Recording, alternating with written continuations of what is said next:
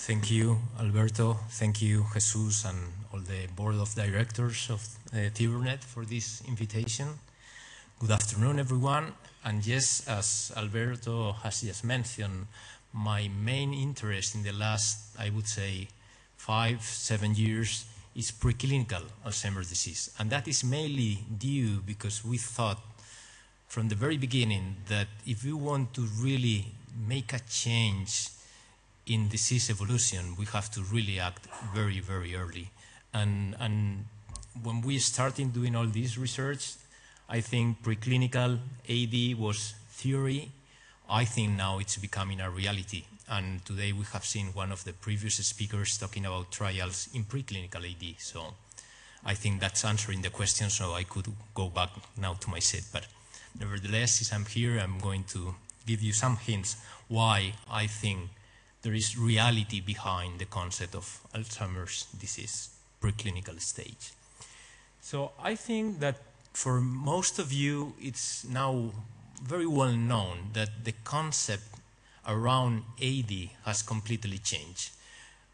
10, 20 years ago, we were talking about dementia, AD as a clinical pathological diagnosis the field has moved forward mainly thanks to the biomarkers, and now we understand AD as a clinical biological entity. What we actually mean with that is that the pathological side of the disease, now we can detect it through biomarkers. And again, the previous speaker this morning was talking about amyloid PET as a key biomarker. Well, that is amyloid PET CSF biomarkers, they correlate very nicely with AD pathology. So that's why when we find those biomarkers being positive, we know that that individual is within this continuum of pathology. And now we understand that there are three main stages, being the first one, the preclinical stage, where that subject has no symptoms, but we have biomarkers evident of underlying AD pathology. From there, we move into what we call prodromal or the MCI stage of Alzheimer's disease, and then finally we enter the dementia stage of the disease. So this has been probably the most important papers related with preclinical AD.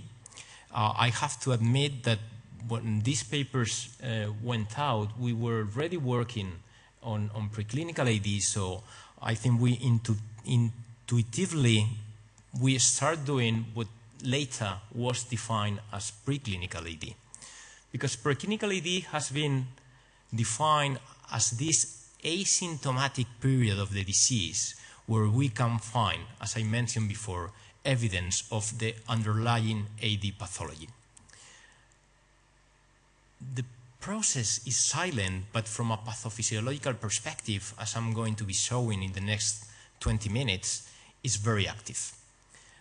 And two different types of subjects have been included within preclinical Alzheimer's disease. One of them are what is called pre-symptomatic subjects. Those were the subjects they were talking about this morning belonging to FAD families to presenilin mutation families because those are mutation carriers. So if we know that having the mutation is clearly determining that you are going to develop the disease, and as it has been mentioned this morning as well, with a mean disease onset, with a mean age of disease onset very similar between all the members of the kindred.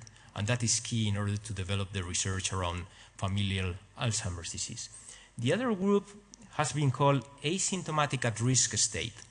Those are people who are healthy cognitive elders usually, but that we know that either they have a positive PET amyloid or a positive CSF profile. And I'm going to be giving you data of both groups. So this, just to keep it in mind, this is the biomarker cascade that Uh, was launched like I would say now three, four years ago. What, what it's telling us is that it is supposed to obtain A beta changes before we obtain tau changes, and after is when it comes brain structural changes together with clinical changes. That is quite true to some extent. And, and since that concept was already launched, we were working with the idea, okay, if we start doing a research protocol in cognitively people, co cognitively normal people that have a positive CSF profile, probably what we are targeting is this preclinical stage of the disease. So, as I said before, I'm going to show you some data in both pre-symptomatic subjects, those are uh, mutation carriers mainly of presenilin mutations, and later on on asymptomatic at risk. So these are some of the papers that we published several years ago. And the first thing that we did at the time, and that, that was back in 2008, is that we really wanted to check that, um, and what we found is that as these subjects get closer to the mean age of disease onset, which here is zero, we get a lower value of CSF amyloid levels. And those amyloid levels, this subject, for example, he is 10 years before any symptom onset, like 15 years before dementia, already those amyloid values were below the cutoff point, and obviously when they develop symptoms, which are these ones, they are already in floor levels. By contrast, we found that tau levels were starting to change around here, and they correlated very nicely with, with the appearing of symptoms. But obviously, at the time, we were very much interested in checking for cortical changes. So we, we, we are lucky enough that we had a 3 Tesla MRI, we could do structural DTI, we could do functional MRI several years ago. So we performed these structural studies, and obviously these are the typical changes that you observe in people with AD. Those were people belonging to those families with AD, and you can see a huge loss of cortical thickness in typical AD areas. And those were people with prodromal or MCI in those families, and you can see a loss of cortical thickness again in typical associative AD areas. But obviously, our interest was to check what was happening in those people that, as a mean, they were like 15 years before disease onset. And they had no symptom, obviously, so they were in this preclinical stage of the disease. And what we found at the time was something that was quite shocking because what we found in those people was an increase in cortical thickness that actually was happening in typical AD areas as well. So the first thing we did, because we, at, at, that time we were wondering, is this a real change or is an MRI artifact? So let's, let's check it. So what we observed first is that those areas that presented this increase in cortical thickness uh, very nicely overlap with the areas that later on in that same family were going to suffer a decrease in cortical thickness. The second thing that we observe is that when we measure the ventricular system, we observe here you have healthy controls. Those are asymptomatic mutation carriers, and those are the symptomatic ones. So these are the preclinical subjects. So what we were seeing was that those people with the increase in cortical thicknesses uh, actually were experiencing a decrease in the volume of the ventricular, which was, which was also significantly smaller than both healthy controls, obviously much for age, scolarity, and those people that belong to the same family and obviously were symptomatic. Those had atrophy already and the volume of the ventricular system was going up. So that was the first thing, the first hint thinking that make us think, oh, probably this is not an artifact. Something is happening very early, very early in the disease course of those people. So the second thing that we did is we correlate that with the adjusted age to disease onset. And as you can see here in blue, those are the people that are in the preclinical stage. Those are the ones that already have symptoms. And cortical thickness significantly correlated with this timing of the disease, which was something that was uh, asked, a question was asked about that this morning as well. So then, fair enough, we thought, okay, probably those changes that are occurring so early in time, probably they are really happening. So the second question that we, the final question we asked ourselves was, what does that mean? I mean, is that compensatory or something else? So since we have DTI performing those subjects, we measure the mean diffusivity of the water molecules. And these are the mean diff diffusivity of the people in the family that were already demented. So you know in people with very clear Alzheimer's disease, uh, there is atrophy, there is axonal loss. So water molecules diffuse wonderfully, and that's why you can see these images. By contrast, those people that presented that increase in cortical thickness show a restricted movement of water molecules. There was a reduced mean diffusivity, something that you usually see when there is astrogliosis, for example. So what we are currently thinking is that at that very early stage of the disease, probably there is some degree of inflammation in the cortex. And that's why we are getting that increase in cortical thickness. And that's why we are getting this restriction in water molecules movement.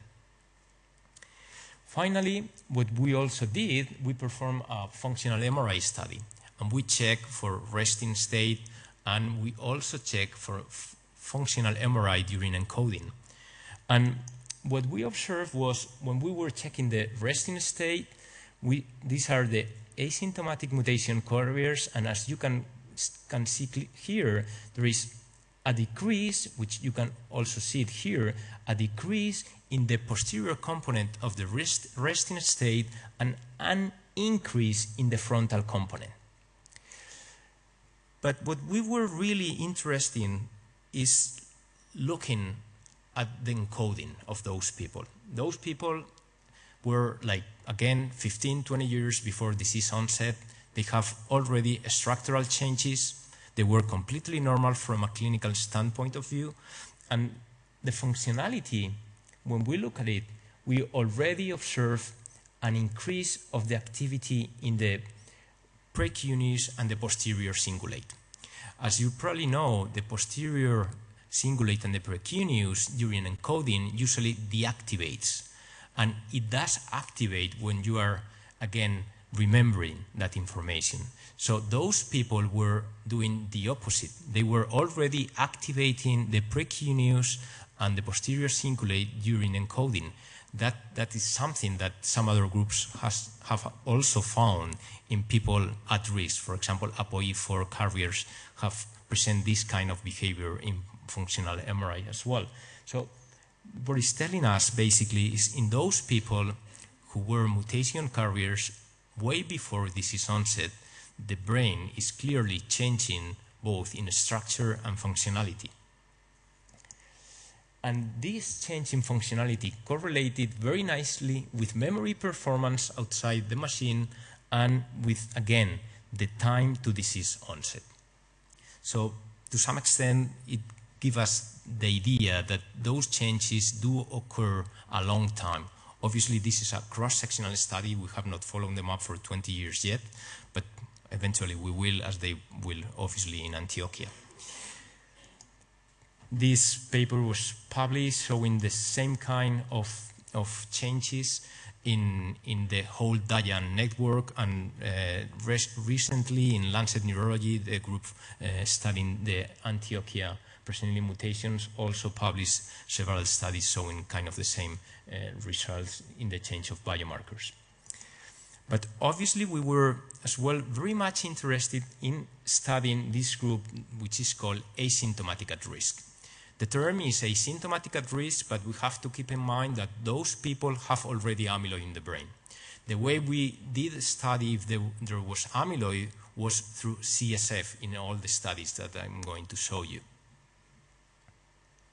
And we were obviously very interested because the most frequent uh, cause of the disease is what we call sporadic. So presenilin mutations, as you are aware, account for a 1% probably of the disease. So we were interested, very, very much interested to, to study this preclinical stage in, let's say, sporadic at risk uh, subjects. Some of the papers that show these results. And the first thing that for us was quite interesting when we observed that, uh, and this was like three, four years ago, is that those people, when we test them, they were within normality. Their performance in all the cognitive battery, which you have here, most of the tests that we applied, was completely normal. But when we check them as a group, they had a distinct and significant worse performance comparing with amyloid negative controls. These are amyloid positive controls or preclinical subjects. It was, they had a worse performance specifically in memory. And you can see this is the free and cued selective reminding test, a very specific test to check for the hippocampus, for hippocampal or episodic memory. So only in that test they perform significantly different. When we test them as individuals, they were within normality. And the same result was published a couple years ago or one year ago by Reisa Sperling in, again, asymptomatic at risk. She was using A beta beta PET, and those that were florbetapir positive, again, specifically in episodic memory, performed worse. And in other tests, there were no significant differences. Very interesting as well, we are talking about the preclinical stage. If we recall the cascade of biomarkers, beta amyloid is the first that changed. So in those people, when we check for correlations of cognition with biomarkers, the only biomarker that correlated with cognition was beta amyloid CSF levels. Tau and phospho-tau did not show any correlation at this stage of the disease. And the other specific thing is, was that it was only with episodic memory test. Here is the correlation with the free and cued selective reminding test, significant with a nice R value. This is with the CERAD, again, and this is with another memory test, which is the TAM that was a test that we developed for screening mainly. But only with episodic memory tests and only beta amyloid was correlating in this, let's say, preclinical stage of the disease. And again, we were very much interested in checking for MRI. So we, at that moment, we had those, let's say, for us at least, fascinated results in those pre-symptomatic significant relationship in any of the type of relationship. What, this was telling us was that at some point that the uh, beta amyloid levels are coming down, cortical thickness is going to increase. That's why the relationship is either quadratic or cubic. So then we decide to analyze comparing this population in tertiles. So the middle tertile were those ones that had the beta amyloid levels in the range of change and what we observed in the typical AD areas, again, was an increase in cortical thickness. So to some extent, the paradox for us was resolved. Obviously, I mean, this is, these are cross-sectional data, so we need longitudinal data with people who are very far away from clinical disease onset. Now there are many cohorts that are starting with people without, even without amyloid, so we will be able to check all these sequences of events in a longitudinal fashion, which is really of value. But our idea right now is that very early, very early in the preclinical stage, very likely when those beta amyloid levels are changing in the CSF, when amyloid is starting to deposit in the brain, then we may be getting this increase in cortical thickness, which may be related with astrogliosis. Later on, as, the preclinical stage goes by, then we get this decrease in cortical thickness. And that's why when we dichotomize the population, we see a decrease in cortical thickness already in preclinical subjects. Finally, we perform another functional MRI study, and actually what we found was exactly the same result that we had found in mutation carriers, that there was an increase in the bold response in the precuneus during encoding in those people that were asymptomatic but with low CSF beta amyloid levels. We've been studying, and I'm finishing with the next uh, two, three slides. We have been studying in the last years the relationship between cognitive reserve and structural and functional changes in the brain, in typically in normal subjects, people with AD, even people with MCI. So we wanted to understand what was the relationship in those people that were in the preclinical stage of the disease. As you know, the cognitive uh, reserve hypothesis states that when you are normal, if you have greater cognitive reserve, usually from a structural point of view, your brain is, let's say, in a simple way, bigger, and you have usually in the same task a decrease in, in functional activation of the brain because it does operate much, uh, let's say, much better or faster than someone with a lower cognitive reserve. But that relationship gets inverted when you develop the disease.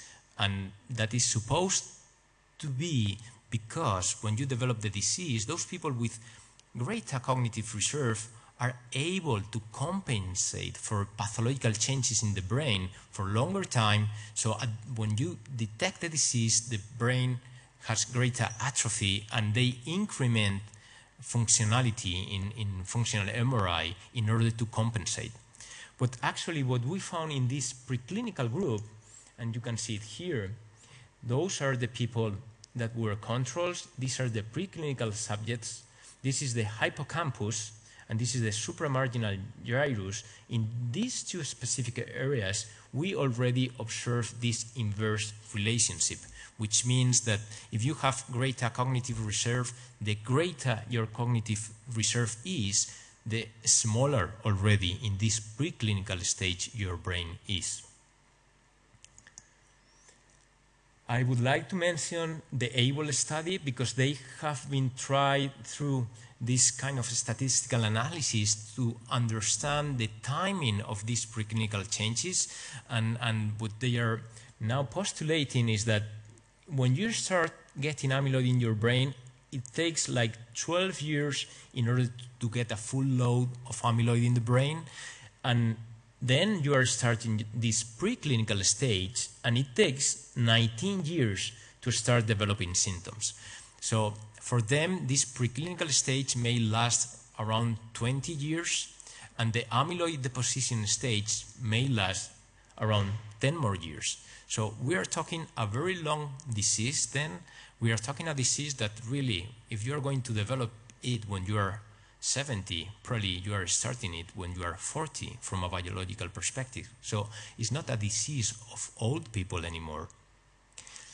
And finally, just to convince you, but uh, uh, uh, after today's early morning presentation, I, I, think you were already convinced that the preclinical stage is a reality.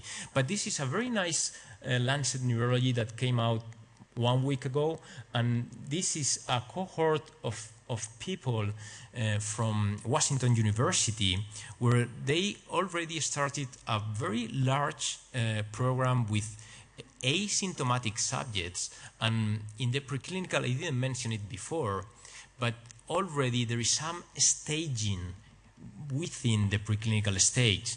So there is uh, a stage, this is normal group, stage one, stage two, and stage three. Stage one are people, normal cognition, only amyloid in the brain. Stage two are normal co cognition, amyloid, and positivity of neuronal injury markers like tau, for example, or others. Stage three there is no, no cognitive symptoms at all, amyloid in the brain, positivity of neuronal injury markers, and already some subtle cognitive deficit. So these are supposed to, to be closer to disease onset, and when they perform this longitudinal study, they observe that in five years' time, 5% of these people already develop clear symptoms, like 20% of these people already develop 20, 25% of these people already develop clinical symptoms, and 50% of these people move into the prodromal stage of the disease. So I think there are no doubts that the preclinical stage is a reality. This is very important, and, and it has been mentioned this morning in order to do right now secondary prevention trials that the one they were explaining this morning. Uh, you should know that there are just about to start three trials in at three well known because I know there are going to start more, which maybe not are they are not as well designed as these three, but three clinical trials in preclinical Alzheimer's disease. One of them is in Colombia. The second one is in this in the DIAN consortium, which is a consortium of uh, dominant inherited Alzheimer's disease, the dominant inherited Alzheimer's disease network. And the third one is in people who are at risk. That, that one is led by Paul Aisen and, and Rachel Sperling. Uh, it's called the A4 trial, and they are aiming to include over 1,000 people with no symptoms, positive amyloid in the brain, and check if the drug that they are going to give is going to slow down what we were showing right here, the possibility of entering the clinical stage of the disease. So with this, I finish. I think I have been saying my key messages during the whole talk. I think that the interaction between biomarkers and, and Alzheimer's disease are distinct along the whole continuum. They are changing depending on the stage of the disease. I think that the preclinical stage, I have very few doubts that it is biological active there are no symptoms, and I think that one of the great confounders until now is that many people were thinking, well, maybe not every one of those people develop AD. Yeah, of course. I mean, if you enter the preclinical stage when you are 80, very likely you are going to die before you develop the symptoms. But that does not mean that this preclinical stage is not a reality. I think there is structural and functional changes, and it's a very long duration stage. I'm thanking you for all your attention and thanking all the people that work with me. Thank you.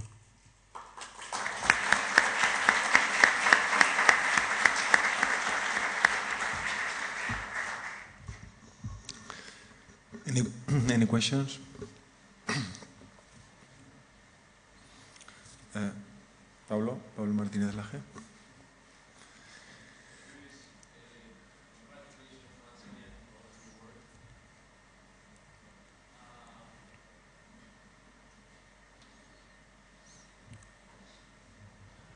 Congratulations once again for all your work to you and, and, and your team. Um, I always have the same question, and I beg your pardon for this. So I'm going to try to formulate it some other way. I think I know the question. What is the value you give to subjective memory complaints in these people? Okay, let's forget about the concept from Reisa Sperling. Uh, she includes these people in the preclinical concept. Let's forget about that. But from the public health point of view, I think it's very important to differentiate people with preclinical Alzheimer's that you go out to look for in the community or preclinical Alzheimer's that come to the memory clinics. So what is the value of subjective memory complaints as a symptom? In yes. your opinion? No, no Pablo, I, I, fully agree with you, and I, I, think that's an important question. I mean, we, we had in Boston a meeting because there, a subjective cognitive complaint uh, consortium was created. We, we were invited to participate, and we discussed for hours. And it's, it's not an easy subject. I mean, I think we have to differentiate between what is research and, and what is our clinical work. Uh, we have to keep in mind that preclinical AD right now is research. Uh, so when we get people with subjective complaints and they have, if they have positive amyloid and positive tau markers, for example, we know they are very close to the clinical stage. They are closer than those that do not have the complaints. And we need longitudinal studies and multi-center studies on this to really corroborate that. But that's what usually happens. The thing is that, uh, as you know, because we have discussed this many times, uh, we are trying to push the diagnosis earlier. We are trying to push the diagnosis into the prodromal stage. In the prodromal stage, you have a very clear symptom, which is episodic memory deficit that you can measure, you can use specific tests, and we know that when you have markers plus episodic memory dysfunction, you are three years from dementia. So it will be very easy to make the diagnosis supported with biomarkers at that stage, but still, there are many people reluctant to make Alzheimer's disease diagnosis when you are not demented. So if we translate that information into subjective complaints, which are non-specific, they are, I mean, you can have them in the AD continuum context, you can have it in a depression context, you can have it in a neurotic uh, personality context. So then, to move that information into our clinical work is even much more complicated. So my personal position right now, I, I, push hard to try to move the diagnosis of AD into the prodromal stage because we have to admit Alzheimer's disease is the only neurodegenerative stage that is diagnosed too late. I mean, if you get someone with tremor in one hand and it's a clear resting tremor, all the neurologists will make the diagnosis of Parkinson's disease. If you get someone with a clear episodic memory deficit and positive biomarkers in the CSF in PET, people are reluctant to make the diagnosis of Alzheimer's disease. We're a paradox, but that's what we are living with. So I focus to make the early diagnosis into the prodromal stage, and I, my personal experience with subjective complaints in this preclinical stage is that they are closer to the clinical stage. Sorry for the long answer. I always love talking. Thank you. I have one short question. Um, you hypothesize that there is like this uh, increased cortical thickness was due to maybe an inflammatory reaction, and uh, I mean there are uh, inflammation ligands that uh, you can use with PET, but they're very complicated. But you have the CSF, so the question is: Have you looked at inflammatory markers in the CSF? We have at, at this stage. Yeah, we have we have we have looked at YKL40, and uh, YKL40, as you know, it's increased in AD and prodromal AD, and we found that. We do not find a clear in increment in preclinical AD, but we find, which is very interesting, a correlation of YKL40 with tau and phospho-tau in the preclinical stage, which we think that correlation is telling us that there is some relationship into, into the disease pathogenesis with that inflammatory marker at the preclinical stage. That's our hypothesis. I know that Agneta Nordberg with, with PET is finding some inflammatory changes early in the disease course as well. So I think the field is open now into what inflammation is doing in the AD brain at early stages now. No, thank you.